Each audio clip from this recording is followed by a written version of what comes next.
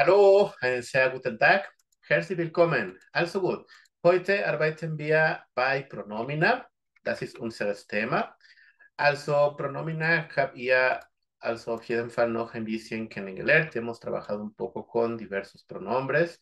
Also wir haben hier zum Beispiel als Nominativ haben wir ich und dann du und dann er, sie, es.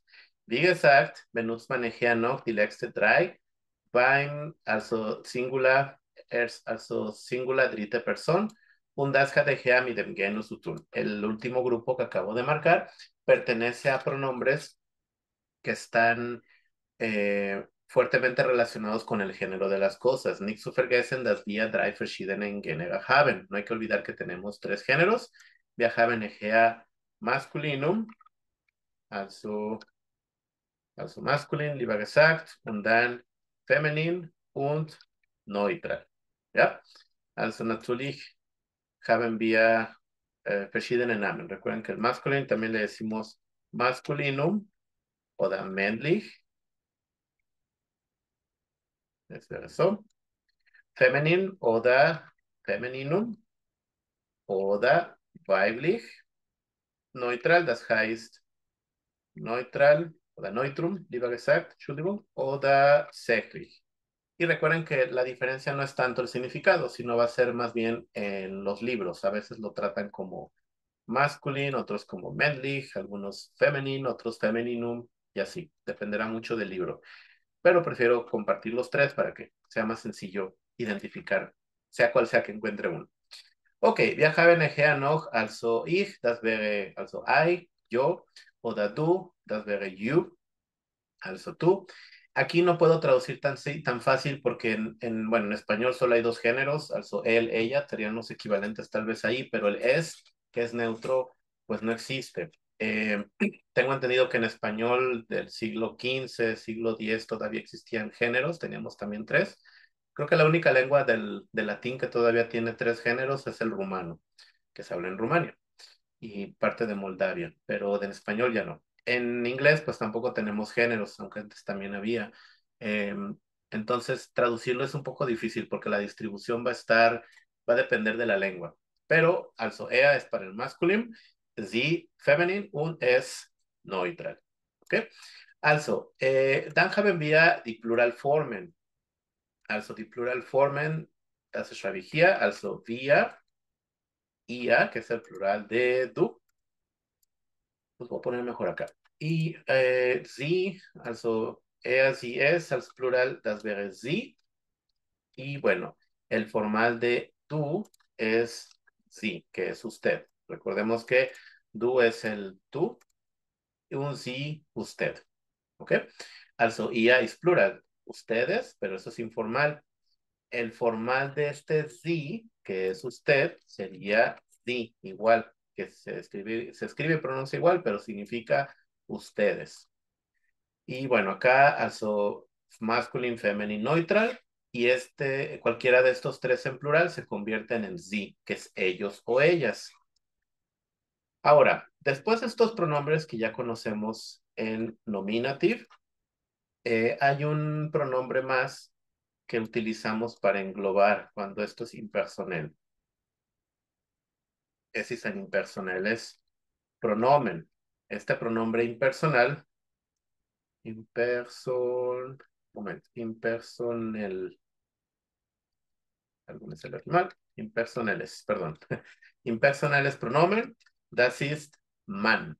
Was bedeutet man? Recuerden que las comillas primero van abajo y luego arriba. Also, eh, impersonales pronomen man. Das bedeutet, dices pronomen existir auf Spanish. Das wäre se o da uno.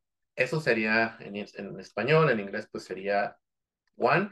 Y a veces usamos la voz pasiva en inglés para esto.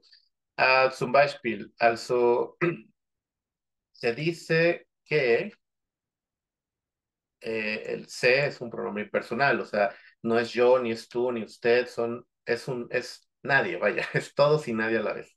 So dan sagt man, man sagt das und dann kommt der Rest. O también cuando uno dice, ¿cómo se dice? Es una de las primeras preguntas que aprende uno. Wie sagt man, que significa cómo se dice. Ya, en este caso, igual, cómo se, momento, cómo se dice. Ok.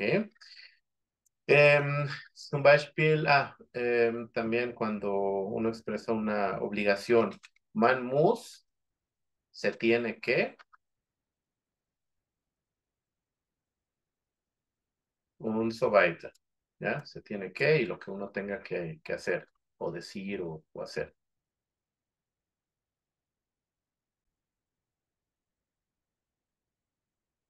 Okay, um, das ist wie gesagt, also es ist ein Pronomen mit dem man ein generelles Kommentar machen kann, uh, aber die Konjugation ist sowieso singular, aunque es un pronombre que engloba a todos, es un comentario general, la conjugación es en plural, also guck mal, eh, es ist man sagt, singular, man muss, singular, wie sagt man, singular. En todos los casos, la conjugación es singular. Por lo cual, usando esta categoría, pues este pronombre, uh, un segundito, ya. Yeah. Also, das Pronomen wäre, bueno, no me deja, pero puedo poner acá. Also, man gehört zu dieser Gruppe. Man entra en la tercera persona del singular. ¿Ok? Aquí es donde se colocaría man. Sigue teniendo la conjugación de er, sie, es. Okay, ich gebe euch erstens noch uh, ein paar Minuten Zeit, ziemlich kurz diese Information umzuschreiben. Primero unos minutos para anotar esta información. ¿Ya? Also fünf Minuten Zeit. Unos cinco minutos.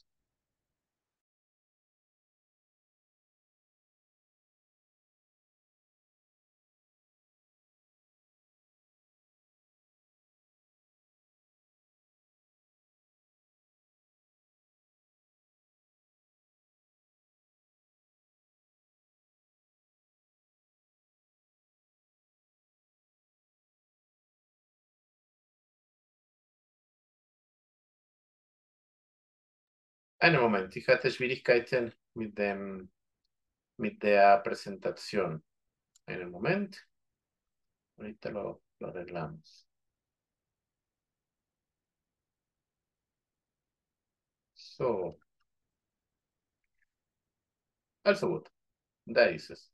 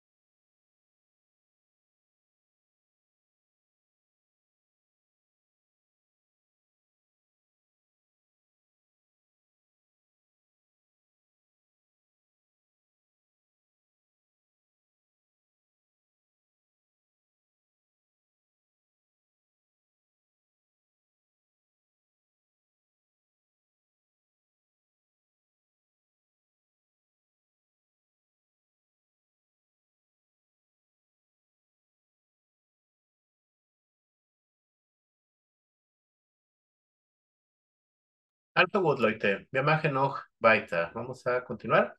Eh, ich, also wir, ich präsentiere die nächste Situation.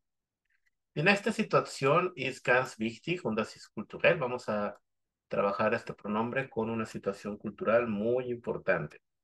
Also in Deutschland muss man eventuell also mit dem Zug reisen und uh, da muss man nachher noch mit dem, tja, mit der folgenden Situation ähm,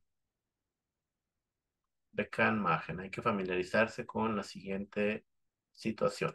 Okay, so wir haben zum Beispiel erstens, also zuerst, zuerst muss man das Ziel wählen. Sekunde noch. So, zuerst muss man. Primero tiene que seleccionar el destino. Zuerst muss man das Ziel wählen. Dann, Nummer zwei. Also, dann, después, dann muss man, dann muss man Erwachsene beziehungsweise Kind auswählen. Segundito para, ahí está, para poder explicar ahí un poco. So, also, dann, dann muss man Erwachsener beziehungsweise Kind auswählen. Después, tiene uno que, eh, bueno, recordemos que con müssen el verbo va hasta el final, con todos los modal verbe, ¿no? El segundo verbo va hasta el final. Dann muss man, also después tiene uno que seleccionar, Erwachsener, adulto, beziehungsweise o Kind, niño. O sea, después tiene uno que seleccionar si es adulto o niño, porque las tarifas del tren, del tranvía van a depender también por la edad. Ok. Und dann, nächste Situation. Okay, dann haben wir danach muss man danach muss man ähm, in diesem Fall Fahrkarte, die Fahrkarte würde ich sagen, nein? Okay. Danach muss man das, warum denn? Danach muss man, ah ja, danach muss man bezahlen. Después tiene uno que pagar.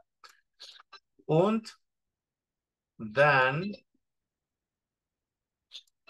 die Fahrkarte und das Geld, also das Wechselgeld nehmen.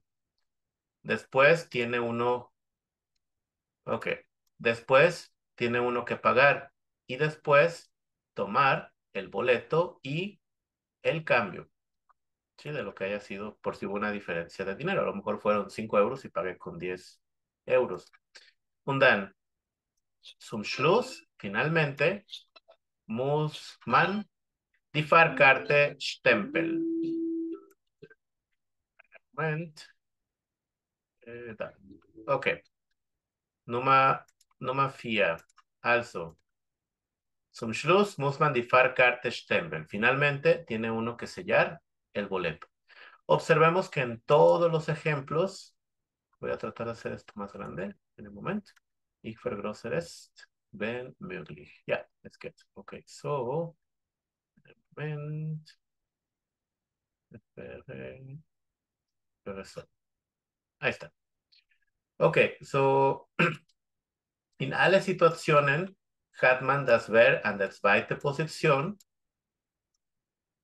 Also erstens, beim erstens auf jeden Fall, hat man nachher eh, die Zeit. Primero está el, el Zeitangabe, complemento de tiempo, ¿no? Complemento cronológico. Que son muy, que los, bueno, los elegí así para hacerlo más útil. Zuerst, primero. Dan, después. Danach, después. Que tienen el mismo significado. Pueden ponerlos al revés y no pasa nada. Zum Schluss, finalmente. Y con esto podemos hacer una lista de, de reglas que se tienen que seguir. Un in diesem Fall hat man das Pronomen man an der dritte Position. Observemos que man se encuentra en la tercera posición con los demás elementos que haya.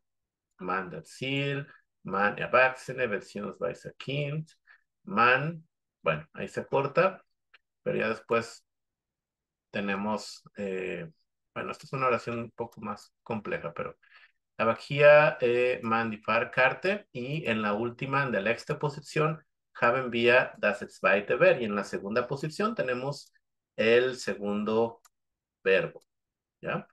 Bueno, la tercera pues vuelve a, unir algunos de los elementos, solo la tercera y sobre todo la cuarta. pero igual, en esta tercera se pudo haber integrado aquí un dan, musman, difar karte, un wechselgeld nehmen. Y habría sido igual, vaya, gramaticalmente correcta. ¿Ya? Recuerden que con, eh, con, conjunción die und, aber, keine posición haben. Recordemos que los, las conjunciones und, aber no tienen como tal posición. Por lo tanto, no entran en esta clasificación de orden. Hauptsache ist, dass man merkt, dass man dann benutzt, wenn man was generelles, also ausdrucken möchte. Aquí lo importante es identificar que cada uno de estos pronombres impersonales se está empleando para eh, reemplazar cualquier persona, no, no decir algo directo, no es como tú tienes que hacer esto o ella tiene que hacer aquello. Simplemente es un comentario general. Para usar el tren, pues estos son los pasos, en muy a grosso, grosso modo de, de emplear. ja, oder seguir. Okay, also ich würde auf jeden Fall euch vorstellen, was Ähnliches aufzubauen. Suggeriría eh, crear algo similar. Und dann könntet ihr noch also eure, eure, also eure Beispiele eh, tja, auf jeden Fall bei, bei Kommentarenbereich. En los comentarios podrían compartir el, los ejemplos para ver qué ejemplos construyen. Okay? So, also herzlichen Dank für eure Zeit. Um, einen schönen Tag noch und dann machen wir noch weiter. Bis dann. Tschüss.